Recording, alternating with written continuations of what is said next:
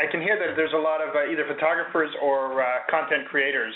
What we basically got is two uh, separate products. One is a uh, asset library which uh, manages stores assets, and you can do a lot of the things that you would expect from a, an asset library. And these are all suited for um, media.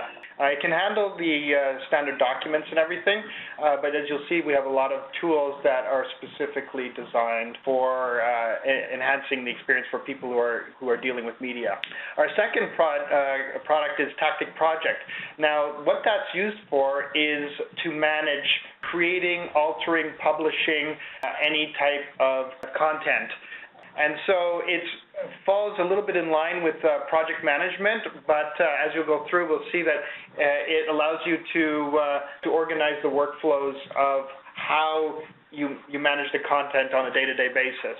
So uh, really, we'll start off with Tactic Project because I think this will be a good place, and then we can go on to the, the actual library itself. Um, the the project is uh, basically manages things by creating jobs, and these jobs are uh, units of, of uh, projects that people might have. They might have requests that come in, and then you would go and perform these jobs. This is for, for example, a uh, video publish job, and I'm just going to call it arbitrarily.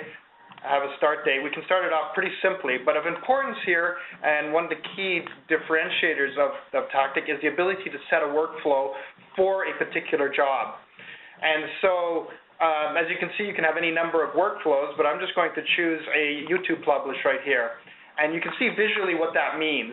Um, and I'm going to just take you through this job and uh, and go through the various steps and how Tactic uh, helps you and, and, and organizes everything for you in relation to this workflow. Just bear in mind, like other jobs can be completely different. So we can have a, for instance, a blog post. They would go through various steps. So you can create your own workflows you aren't constrained to the some, either the simplicity of these or you can create much more complex ones, which we can get into later. But for now, I'm going to choose the uh, YouTube publish. This one has four basic steps ingest or uh, gathering of sources, an editing mode where you create the actual content, an approval step, and uh, in this case, it publishes to two YouTube channels at the approval. So I'll, I'll show you that. But what I'm going to quickly do is just create this job and it opens up into a view of the job. We can see right here clearly what the workflow is this job is, and we can also see that three tasks were automatically created that were associated with these particular this particular workflow. Now you can go into here and basically I'm just going to assign it to people. And so I'll just assign it to uh, various users that uh, that would go and work on this uh, particular job. So once they're assigned, uh, they're set and waiting, and one of the things that we want to do is in will be in the ingest process, and I'm going to quickly go right now and ingest some files into this particular process, the ingest process. So all the files are broken up to the specific process that uh, or task that uh, that is worked on by the person. So I can go in. Actually, I'm going to go in a different way here, and I'm just going to drag these files in. Now these can be files. They can be uh, movie files. They can be documents. They can be uh, sequences of frames, if, for example. And as you can see, it's going to be ingested into the uh, into this particular ingest process. And so what will happen here is uh, now that the files they will appear now in under the assets. And so we can see that now we have those three files that I ingested into what's the ingest process. And so what I would do now is say, okay, I'm complete this job. And so when this is completed, what's going to happen is uh, the person who worked on this is it, it, fires off a completion, and then the person that's next in line, it will automatically, as you see, it just jumped there. It got set to pending. And so this is how the workflow knows the dependencies up here. That one is finished, it automatically knows that the next person has to work on it. So now in this case, Yukino here is the artist or a designer or some content person. And in particular, they're going to be creating, uh, so in your case, you might have in, ingested a bunch of photographs and then somebody's going to either select them or work on them. And in this case, I'm going to demo an integration into Photoshop. So I've got Photoshop here and we've got a Tactic project extension which is built right into right into Photoshop. So an artist or designer does not need to actually go to the web browser to do their work. They can do a lot of it into the integration right here. So I can go directly here and look at all my tasks. And in this particular case, I can go and see my tasks, but I can go, I know that they were ingested in, so here are the assets that I just ingested.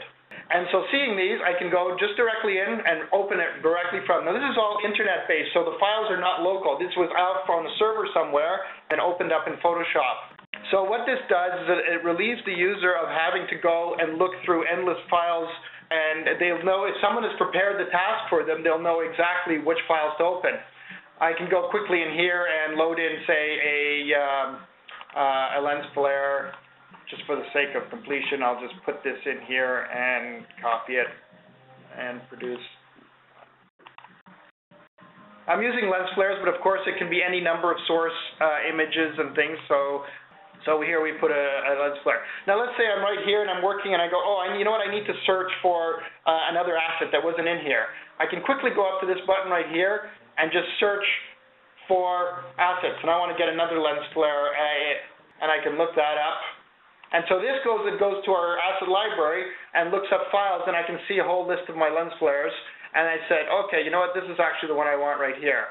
And so now, having and wanting this one, I can see the size and everything, and I go, okay, yeah, and now I open that up. Again, pick it in, and go to go to my source here and put it in. And again, I'm just going to blend this in just so we can see that there's actually a different on this image. So let me just do that here. And so now I've added this. Now this is my end result. And now what I want to do is I want to check this in. Uh, I can save this as something. You can name it whatever you want. And you can put any number of files here. You can save them. And so now I'm going to save them. I'm going to go back to my task here that I was working on.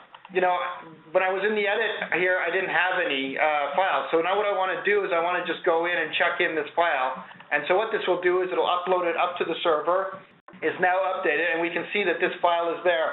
So anybody who has, this is now up in the server. I can go look right here, and you'll see that the file is actually located, and you'll see what we're kind of doing here. So what we've got right now here is we've got the three files that were originally uploaded, and then I created a lens flare, and I've got this, this uploaded. So you can see there's a total integration into Photoshop.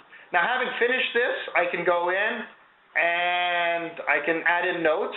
So I'll add in uh, some lens flares. And uh, we can put uh, attachments here, but right now I'm just going to, let's see, it appeared right there. And so now I have a note here. And from here, I can go in and say I'm complete. And what this does is essentially this will put it off uh, uh, this person's list, and uh, she's finished. Now, what this does, it updates as you can see right now, it automatically updated to complete, and it put the approval to pending. So this person who is the boss who's going to approve, uh, it could be a boss or a reviewer or a client, and they're going to go in and they're going to be able to see, so it appears automatically here. Now they can go and look, they have a very easy list to see what they need to approve, and they can uh, add some notes, and in particular, they can uh, go in and uh, look at the details, for instance, and see what's happened on the job if they need to look at more detail and and, and particular parts. Whoops, that's not actually. Sorry, it's this job.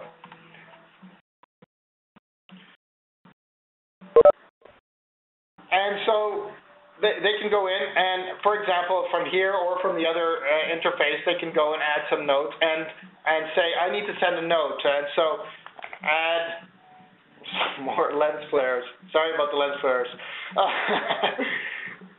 but it gets the point across. And of course, I can uh, attach files here and uh, say particular add what a file, and then I add a note here, and I'm sending this back to the process oh, to the this. And what I'm going to do is I can do it either here, I can reject it, or I can go back here and say it's not approved. And so what this does is this highlights to the designer artist that there is actually uh, a problem. Now again, she doesn't have to go to, she can just look at my task and she can see that this task is now in revise and she can go look in and say, okay, exactly what's wrong here and then see this and then see, oh, okay, this is the problem. So I, I think I have an example here on this uh, task right here. where we would uh, have a markup and then they could and uh, and show the person exactly what needs to be done. So at any rate, we, this is a, a Photoshop. Of course, we can go into After Effects and and do the same thing and load in footage, for example, and you can see that it loaded directly into here and have this integration too. And then we can go and save this and upload this in the same way. And in this case, you would produce a video. Now, I'm not going to produce a whole video. Uh, I'm not really an editor, so I'm going to just go in and, and ingest here a video that was supposedly produced by this process, uh, but I'm just going to do that manually right now. And so this would be a final video, and this would go uploaded. Now once this is uploaded, we can go back here and we can see what's going on here. So now I've got a bunch of files. I can see pretty much everything that's going on in here, all the files that are associated with it, and in particular the After Effects and the edit. And so the approver could go and actually approve this at this point. And I'm just going to do this manually, just and it's connected here to two YouTube nodes. But what happens is that these get uploaded automatically to the uh, the YouTube. And so you can see I just published both of these videos to uh, to YouTube. I can go in and uh, and so here's the actual video.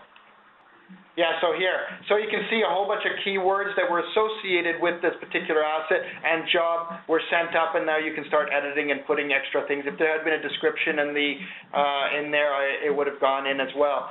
So the interesting thing about this is that the the people here are working on the uh, on the uh, media don't need to know the passwords. These are all stored in back in, in, in the system, and they can just um, uh, have these things published, and you can set when you want them published.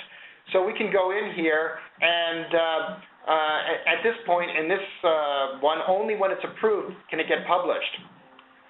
Now the workflow, here I'll go look at these workflows, and you can see how they're managed. And so, for example, um, from this YouTube publish, we can see this is it. Now I can go in if I want and I can say, well, you know what, I'm going to put another approval here. And so we have many different nodes that you can use or, or processes types that you can go in and say, okay, I'm going to put another approval in here.